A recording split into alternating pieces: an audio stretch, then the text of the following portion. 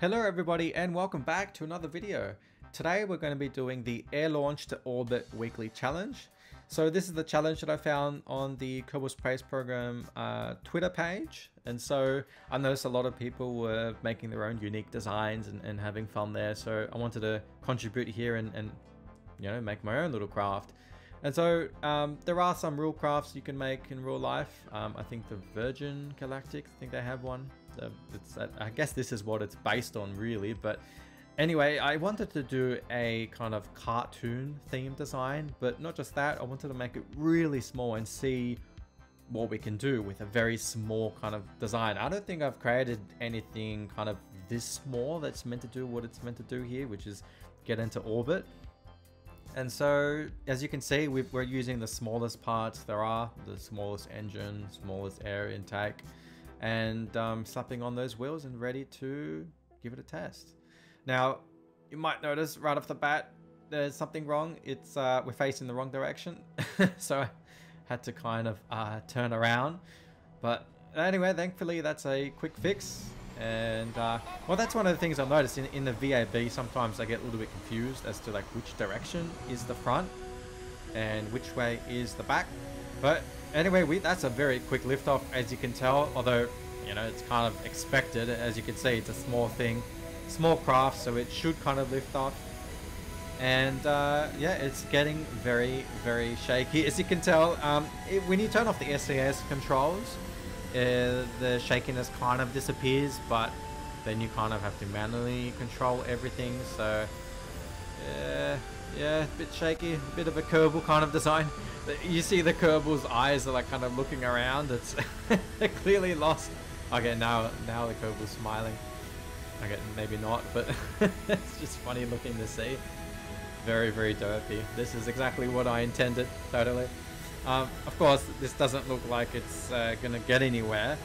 Um, and, well, anyway, at this point, I've kind of turned off SAS, as you can see. And it's going straight, but, you know, these engines are not made for high altitudes, and they're not really that powerful up there, so um, unfortunately, you know, things are just not going well. I can't get any lift at this point, and there's just very little thrust. So, um, yeah, I think we're gonna be uh, decoupling the, I guess, the rocket stage soon, just to see if that even works and if we can control it or not.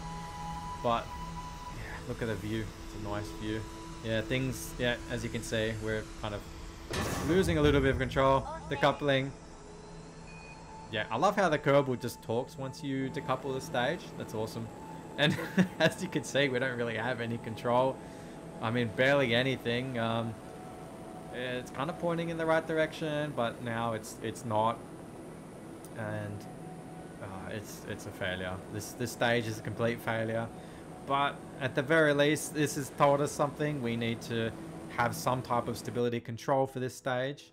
And uh, here is the final version of the design. Unfortunately, it's not as small as before. I've had to use some more powerful engines. Um, but, you know, it's all for the fun and games. And yeah, liftoff is a little bit finicky, actually. So I, I will share this craft in the description. So I have a link there. Um, I also intend to make a video on how to share crafts because I wasn't even aware you could share crafts until, uh, what was it, a couple days ago. So it's, uh, it's a, there's a bit of a learning curve and that's why I'm not doing a kind of how-to video um, anymore for KSP until I really learn the game.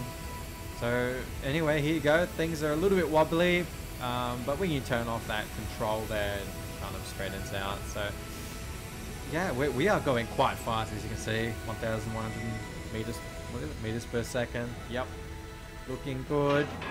And this is a little bit strange, this part uh, with the air effects. I guess the game there is still broken, but we're gonna jettison those wings and engines there. Yeah, that was perfect.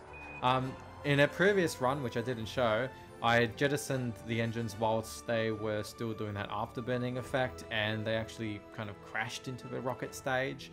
So uh, yeah, kind of you have to wait and be patient. So Anyway, here we go. I was just testing the stability. I did add one of the stability things inside the uh, fuel tank there. And so it's like perfect control. But as you can see, we're on a crash course here, and it's a matter of whether we have enough fuel to get into orbit. And so uh, I'm a little bit concerned whether that's going to work or not, because the fuel does look a little bit low. But regardless, we're going to do a time warp to our destination, where we're then going to start our final burn. And so here we go. And we're to start burning anytime. And I love how the Kerbal's head just kind of sways back when you accelerate forward. That's just, yeah, that's really well done. yeah, the Kerbal's resting their head on the fuel tank itself. And uh, at this point, I'm getting very concerned because, as you can see, I mean, it doesn't look like we have enough fuel to get in orbit. Um, although was happy, but yeah, I mean, look, that's barely any fuel remaining. So, how are we going to get in orbit? Well, uh, I don't know. Look, we got we got in orbit. I didn't do any time skip, by the way.